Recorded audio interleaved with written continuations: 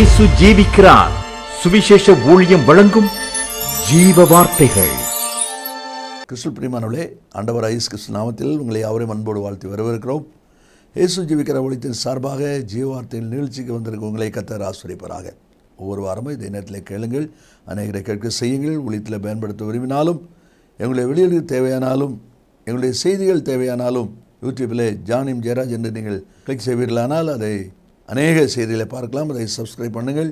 கத்தனமை ஆசிரிப்பாராக இந்த நாளில் தேவன் நமக்கு தருகிற வார்த்தை நான் வாசிக்கிறேன். ஜெபத்துடன் கேளுங்கள். மார்க் சுவிசிசம் பத்தாம் அதிகாரம் நாற்பத்தி ஏழு நாற்பத்தி எட்டு வசனங்களை நான் வாசிக்கிறேன். பர்திமேயு நசரனாக இயேசு வருகிறார் என்று கேள்விப்பட்டு இயேசுவே தாவீதின் குமாரனே எனக்கு இறங்கும் என்று கூப்பிடத் தொடங்கினான். அவன் பேசாதிருக்கும்படி அநேகர் அவனை அதட்டினார்கள். அவனோ தாவீதின் குமாரனே எனக்கு இறங்கும் என்று முன்னிலும் அதிகமாக கூப்பிட்டான். எப்படியாயிலும் எனக்கு விடுதலை வேணும் எனக்கு நன்மை வேணும் என்று சொல்லி அவன் சத்தமிடுகிற விண்ணப்பிக்கிற கூப்பிடுகிற காரியத்தை நம்ம அதில் பார்க்கிறோம். ஆனால் அநேகர் அதட்டினார்கள் என்று சொல்லி அதில் போட்டிருக்கு. அவனோ முன்னிலும் அதிகமாய் கூப்பிட்டான். அது நிமித்தம் அவன் சுகம் பெற்றுக்கொண்டான் விடுதலை பெற்றுக்கொண்டான் என்பதையும் அந்த பகுதியிலே நாம் வாசிக்கிறோம். இந்த வார்த்தை கேட்கிற அன்பு நேச பிள்ளைகளே இன்றைக்கு ஆவியானவர் நமக்கு கற்றுக் கொடுக்கிற காரியம் என்ன என்பதை நாம் அறிந்து கொள்ள வேண்டும். அநேகர் அதட்டினார்கள் சொல்லப்பட்டிருக்கிறதே இந்த அநேகர் யார்? இன்றைக்கும் நம்முடைய முன்னேற்றத்தை விரும்பாத நமக்கு விடுதலை கிடைப்பதை விரும்பாத நம்முடைய பிள்ளைகளுடைய ஆசீர்வாதத்தை விரும்பாத அநேகர் நம்மை அதட்டி கொண்டு தான் இருக்கிறார்கள். சுற்றி இருக்கிறவர்கள் கூட இருக்கிறவர்கள் சொந்தத்தில் இருக்கிறவர்கள் இப்படி பலர் நம்மை அற்பமாய் பேசவும் அதட்டவும் நமக்கு காயம் உண்டாகிற வார்த்தைகளை நம்ம மேலே வீசவும் செய்து கொண்டு தான் இருக்கிறாங்க. நீங்களும் அதை அனுபவிச்சு கொண்டு தான் இருப்பீங்க. இந்த வார்த்தையில் சொல்லியிருக்கு அநேகர் அதை தட்டினார்கள். ஆனால் அவனும் அதட்டுறவங்க யார் சத்தத்தையும் அவன் காதலே போட்டுக்கிடலை. எதையும் அவன் கண்டுக்கிடலை யாருக்கும் அவன் பதில் சொல்லலை. அவன் நோக்கம் ஒரே நோக்கம். அவன் சிந்தை ஒரே சிந்தை. இயேசுவால் விடுதலை இருக்குது அவரை தான் கூப்பிடணும் அவரை தான் பார்க்கணும். இதைத்தான் இன்றைக்கி நீங்களும் நானும் செய்ய வேண்டியவளாக இருக்கிறோம். ஒன்று சமையல் பத்து இருபத்தேழில் அநேக பேலையாளின் மக்கள் சவுலை பேசுகிறாங்க சவுல் காது கேளாதவனை போல் இருந்தான். இந்த வார்த்தையில் கேட்கிற அன்பு நேச பிள்ளைகளே அநேக சமயங்களிலே நாமும் காது கேளாதவர்கள் போல் இருக்கும்படி அழைக்கப்படுகிறோம் என்பதை மறந்து போக வேண்டாம். வேகமாக சில அனுபவங்களை பார்க்க போகிறோம். என்ன? அநேகர் அதட்டினார்கள் சொல்லி போட்டிருக்கிறதே. யார் இந்த அநேகர் என்பதை தான் சிந்திக்க போகிறோம். முதலாவது நாம் வாசிக்கிறோம் மத்திய சுவிசேஷம் இருபதாம் அதிகாரம் முப்பத்தி ஒன்றாவது வசனத்தை நம்ம வாசிக்கும் போது அவர்கள் பேசாதிருக்கும்படி ஜனங்கள் அவர்களை அதட்டினார்கள். இயேசுவோடு வந்தவர்கள் சீசர் வராங்க ஜனங்கள் வராங்க வியாதிஸ்தர் வராங்க இப்படி நிறைய பேர் வராங்க. இதில் அநேகர் அதட்டிருக்காங்க அந்த அநேகருங்கிறதுல முதல் பகுதியை நம்ம வாசிக்கிறோம் இல்லை சொல்லப்பட்டிருக்கு ஜனங்கள் அவர்களை அதட்டினார்கள். யார் இந்த ஜனங்கள்? இந்த ஜனங்களுக்கும் இந்த பரதபேக்கும் என்ன சம்பந்தம்? சம்பந்தமே கிடையாது. அப்போ முதலாவது சம்பந்தம் இல்லாதவர்கள் உங்களை அதட்டுவார்கள். உங்களுடைய முன்னேற்றத்தை பிடிக்காமல் நீங்கள் வளர்வதை பொறுத்து கொள்ள முடியாமல் நீங்கள் படருகிறத பெறுகிறத தாங்கிக் கொள்ள முடியாத சம்பந்தம் இல்லாதவர்கள் உங்களுக்கு அவங்களுக்கு எந்த சம்மந்தமே இருக்காது. யாருன்னே தெரியாது. அவங்கெல்லாம் பேசுவாங்க. ஜனங்கள் அவனை அதட்டினார்கள். அதைத்தான் நல்ல நம்ம வாசிக்கிறோம். இந்த வார்த்தை கேட்கிற அன்பு நேச பிள்ளைகளே சற்று யோசித்து பாருங்கள் உங்களுடைய வாழ்க்கையில் இப்படிப்பட்ட சம்பவங்கள் நடக்குது இல்லையா? அதை யோசித்து பாருங்கள் அப்போ சில இருபத்தெட்டாம் அதிகாரத்தை நம்ம வாசிக்கும் போது கப்பல் சேத்துலேருந்து வந்து கரையேறி இருக்காங்க. அந்நியத்திவார். அவங்க யாருன்னே தெரியாது. ஆனால் அந்த சமயத்தில் நடந்த சம்பவம் என்ன? பவுல் கையில் ஒரு விரியன் பாம்பு தொங்குறதை பார்த்த உடனே நாலாம் வசனத்தில் விஷப்பூச்சி அவன் கையில் தொங்குகிறதை அந்நீராகிய அந்த தீவார் கண்டபோது இந்த மனுஷன் கொலைபாதகன். இதற்கு சந்தேகமே இல்லை. இவன் சமுத்திரத்துக்கு தப்பி வந்தும் இவனது பழியானது இவனை பிழைக்க விட்டவில்லை என்று தங்களுக்குள்ளே சொல்லிக்கொண்டார்கள் இவன் கொலைபாதகன்லாம் பேசுகிறாங்களாம் இவங்களுக்கு என்ன சம்பந்தம்? சம்மந்தம் இல்லாத ஆட்கள். உங்களுடைய வாழ்க்கையில் கூட சம்மந்தம் இல்லாதவங்களெல்லாம் உங்களுக்கு விரோதமாக எழும்பி வருவாங்க. அதான் இந்த காலம். அவங்கவுங்களை அதட்டுவாங்க. உங்களுடைய முன்னேற்றத்தை பிடிக்காமல் உங்களுக்கு நெருக்கத்தை கொடுக்கணும்னு சொல்லி அப்படிப்பட்ட ஒரு காரியத்தை செய்கிறவங்களா இருப்பாங்க.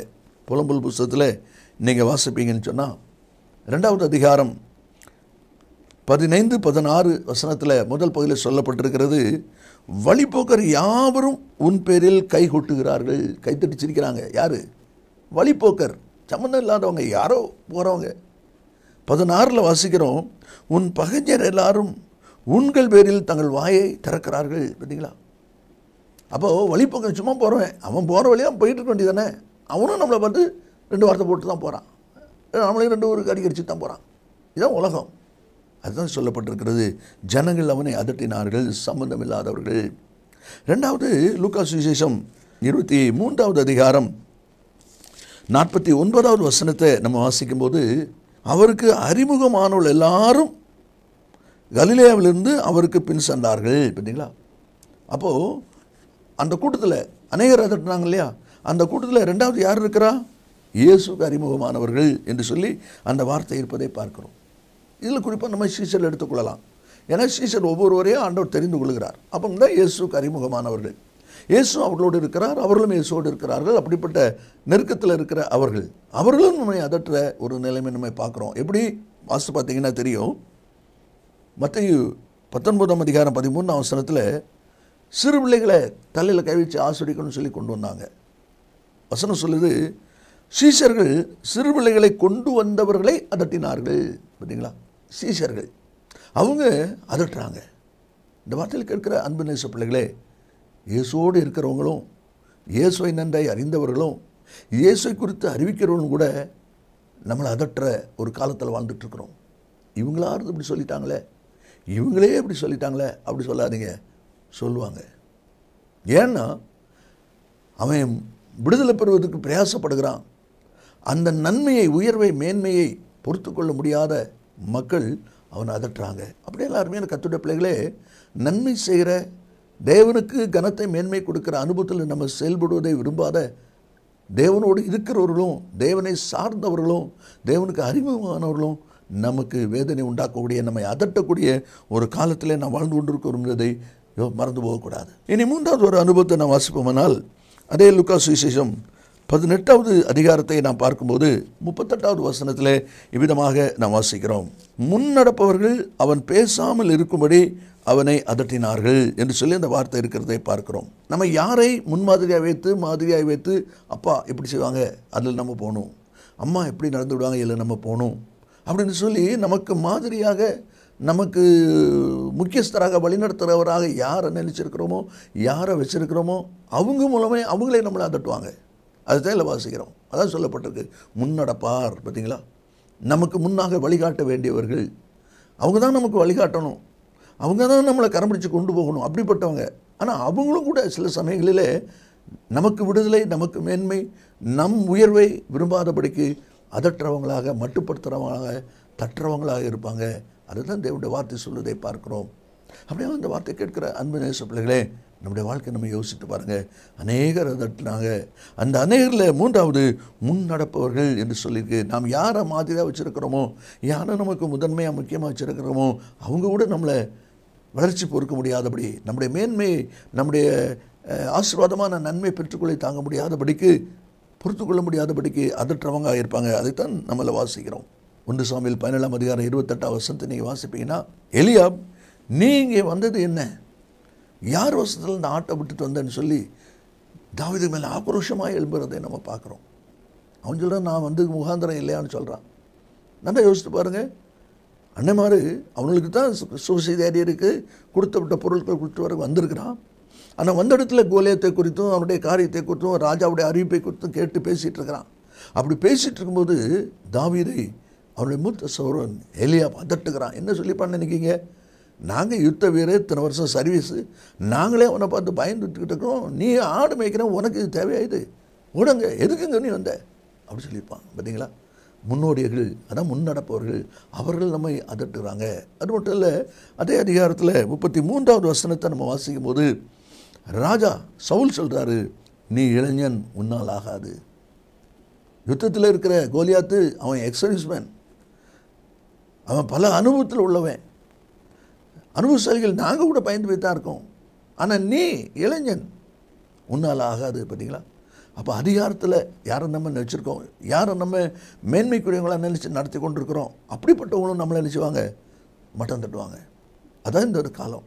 அதைத்தான் தேவனுடைய வார்த்தையில் சொல்லியிருக்கிறதை நாம் இங்கே பார்க்குறோம். இந்த வார்த்தையில் கேட்கிற அன்பு நேச பிள்ளைகளே யோசித்து பாருங்கள் அநேகர் அதட்டினார்கள். அந்த அநேகரில் மூன்றாவது வகுப்பு யார் என்று சொன்னால் முன் நடப்பவர்கள் யாரை நம்ம முன்மாதிரியாக வச்சுருக்கோமோ யார் நமக்கு முதன்மையாக இருக்குன்னு நினச்சிருக்கிறோமோ அவங்களும் சில சமயங்களில் நம்ம என்ன செய்வாங்க? மட்டம் தட்டுவாங்க. வார்த்தைனால் நம்ம நிர்பந்தப்படுத்துவாங்க. அதான் அதில் சொல்லப்பட்டிருக்கிறத பார்க்குறோம். யோபு சொல்கிறார் தன் சிநேகிதரை பார்த்து நீங்கள் எல்லாரும் அலட்டுண்டாக்குகிற தேற்றவாளர். நீங்கள் என்ன சாந்தப்படுத்துறதுக்கும் என்னுடைய வியாதியில் என்னுடைய நோவில் எனக்கு ஆறுதல் சொல்ல வந்தவங்க கிடையாது. நீங்களாம் அலட்டுண்டாக்குகிறவங்க. நீங்கள் இன்னும் காயப்படுத்துகிறவங்க இன்னும் என்ன நோக பண்ணுறவங்க அப்படின்னு சொல்கிறேன் பார்த்தீங்களா? அலட்டுண்டாக்குகிற தேற்றவாளர். அருமையான கத்துட்ட பிள்ளைகளே நன்றா யோசிங்க. கடைசியாக நான் வாசித்து முடிக்க போகிறோம். மார்க் சுவிசேஷம் ஆறாவது அதிகாரம் ஐம்பத்தி நாலு ஐம்பத்தி ஐந்து வசனங்களை நான் வாசிக்கும் போது அவர்கள் படவிலிருந்து இறங்கின உடனே ஜனங்கள் அவரை அறிந்து அந்த சுற்றுப்புறமங்க ஓடித்திருந்து பிணியாளிகளை படுக்கையில் கிடைத்தி அவர் வந்திருக்கிறார் என்று கேள்விப்பட்ட இடங்களில் எல்லாம் சுமந்து கொண்டு வந்தார்கள். அப்போது ஆண்டவரோடு கூட வந்த கூட்டத்தில் ஒரு கூட்டம் வியாதியஸ்தர் சுகம் பெறணும்னு வந்திருக்கவங்க விடுதலை பெறணும்னு வந்திருக்கவங்க வார்த்தை கவனிங்க. அவர் வந்திருக்கிறார் என்று கேள்விப்பட்ட இடங்களிலெல்லாம் சுமந்து கொண்டு வந்தார்கள். அப்போ வியாதியஸ்தர் தூக்கிட்டு வராங்க. இப்போ அந்த ஊரில் வந்திருக்கிறாரு. உடனே அங்கே தூக்கிட்டு போகிறாங்க இந்த ஊரில் வந்திருக்கிறாரு இங்கே தூக்கிட்டு போகிறாங்க ஏன் அங்கேயும் இங்கே தூக்கிட்டு போகிறாங்க இங்கே போனாங்க. பலருக்கு சோகம் கிடைச்சி இவங்களுக்கு கிடைக்கல. சரி நம்ம இங்கே போ வராராம். இங்கே கிடைக்கான்னு பார்ப்போம் இங்கே போகிறாங்க பார்த்தீங்களா? அப்போ இந்த வியாதியஸ்தர் பல இடங்களுக்கு அங்கங்கெல்லாம் போய் போய் போய் வந்தவங்க. இப்போ இந்த அதட்டின கூட்டத்தில் இவங்களும் இருக்காங்க. என்ன சொல்கிறாங்க நாங்கள் அந்த ஊரில் நடக்க போகணும் இந்த ஊரில் நடக்க போகணும் எங்களுக்கே ஒன்றும் கிடைக்கல. நீ உனக்கு கண்ணு தெரியாது. சும்மா இருப்பா. பார்த்தீங்களா? அப்போ அந்த வா வார்த்தையில் நம்ம அறிகிற ஒரு உண்மை என்ன அனுபவம் என்ன அப்படின்னா நெடுநாளாக நெடுதூரமாக நெடுநேரமாக பின்பற்றி வந்து கொண்டிருக்கிற வியாதியஸ்தரும் வாழ்க்கையில் விடுதலை பெற்றுக்கொள்ளாததுனால இவனை அதட்டுறாங்க. இந்த வார்த்தையில் இருக்கிற அன்பு நேச பிள்ளைகளே ஒருவேளை நன்மை பெற்று நன்மைக்காக விடுதலைக்காக ஜெயத்துக்காக தேடினவங்க பின்பற்றினவங்க பெண் அந்த பெற்றுக்கொள்ள முடியாத நிலையில் இருக்கிறவங்க கூட உங்களை அதட்டலாம். அப்படிப்பட்ட ஒரு காலம். அதை தான் நீ சொல்லியிருக்கு. அப்போ பர்திமேவை ஆண்டரை நோக்கி கூப்பிடும்போது அநேகர் அதட்டினார்கள். ஆனால் அவனும் முன்னிலும் அதிகமாய் சத்தமிட்டான். யார் அந்த அநேகர்? இயேசு புரடல் தான் ஒரு கூட்டம் வந்துக்கிட்டே இருக்குது. அதில் நான்கு விதமான அனுபவங்களை இப்போ நம்ம பார்த்தோம். முதலாவது யார் வருகிறா என்று சொல்லி பார்த்தா ஜனங்கள் அதட்டினார்கள். சம்பந்தம் இல்லாதவங்க உங்கள் வாழ்க்கையில் உங்களை அதட்டுறவங்களாக இருப்பாங்க. ரெண்டாவது இயேசுக்கு அறிமுகமானவர்கள் சீசர்கள் அவரோடு இருக்கிறவங்க அவரும் அவரோடு அவங்களோடு இருக்கிறார். அப்படிப்பட்டவங்க அதட்டுறாங்க. மூன்றாவது முன் நடப்பவர்கள் நம்ம யாரை முக்கியமாக முன்மாதிரியாக வச்சுருக்கிறோமோ யார் நமக்கு மேன்மை முதன்மைன்னு சொல்லி நினச்சிருக்கிறோமோ அப்படிப்பட்டவங்களும் நம்மளை அதட்டுறாங்க. கடைசியாக வசிக்கிறோம். வியாதியஸ்தர். அதாவது பல இடங்களுக்கு அங்கங்கன்னு ஓடி இன்னும் எனக்கு நன்மை கிடைக்கலன்னு வர்றவங்க அப்படிப்பட்டவங்களும் அதட்டுறாங்க. இதுதான் இந்த உலகத்தினுடைய காரியம். இந்த வார்த்தையில் இருக்கிற அன்பு நேச பிள்ளைகளே நீங்களும் கூட உங்களுடைய மேன்மை உயர்வு பிடிக்காதபடி அநேகரால் அதட்டப்படுறீங்களா பயப்படாங்க அவன் ஒரே காரியத்தை செய்தான் முன்னிலும் அதிகமாய். நீங்களும் அதே போல இயேசு நோக்கி பாருங்கள் அதட்டுறவங்கள பார்க்காதீங்க. யார் அதட்டிட்டு போட்டு அதை விட்டுருங்க?